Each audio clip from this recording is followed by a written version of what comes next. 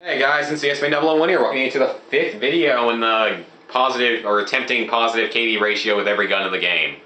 Which I can already tell you is not going to end up happening because I can't snipe for crap, especially with the Dragunov. But anyway, this match, the Striker. The Striker is the fifth shotgun. It is a beast, to say the least. It is a 12 round clip, very fast semi-automatic. It's a beast. It just is. Pretty quick reload time too, but it's it's got good range. It's extremely fast firing. It's like it's a one to three hit kill. Nah, I just got killed by that stupid spawn camper type guy, but uh, it's got a 12 round clip. It's very powerful, very fast. It's a great weapon. It's great for infected modes whenever you get to use it. So definitely a good weapon. I think I get a kill with that guy on on that guy with the grenade or something. There's a guy over here. Let's see. Let's beast the shotgun. Yep, two hit kill from a relatively far away, so it's got better range than a lot of the shotguns, which is nice. I mean, I just two hit killed him from pretty pretty realistic range. We've taken the lead. But uh, with the SPAT, excuse me, not the SPAS 12, uh, the Striker, its advantages, of course, are the high clip size and the pretty good power and range there really aren't any disadvantages specific to this weapon versus the other shotguns. I mean, honestly, it's the best shotgun in the game, in my opinion.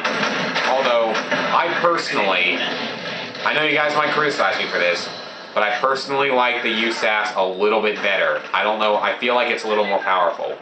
I personally like it just a little more than the Striker.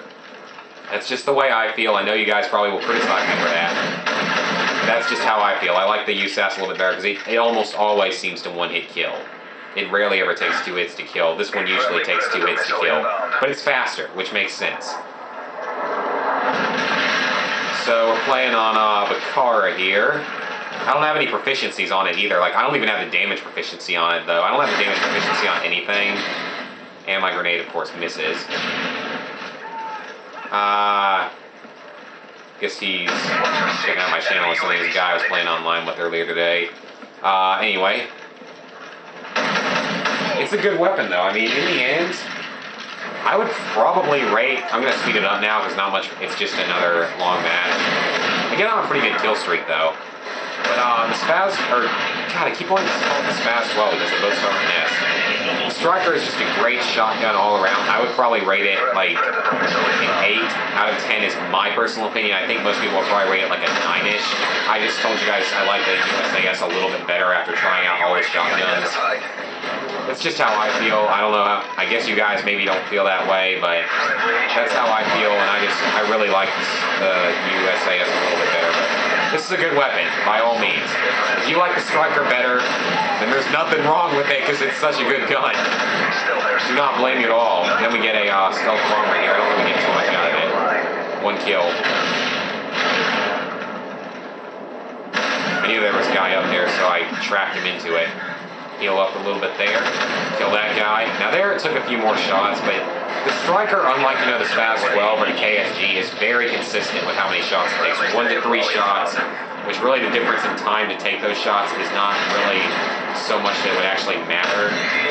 So I get my EMP right in the last second, he get it in like three kills from the win, and we win. And he kills with the helicopter for the final kill. So I finished 19 and 6, which is definitely a positive KD ratio, and second on the team. So, pretty good. I uh, hope you guys enjoyed the video. Next time, my death sentence of the shotguns. See you guys then.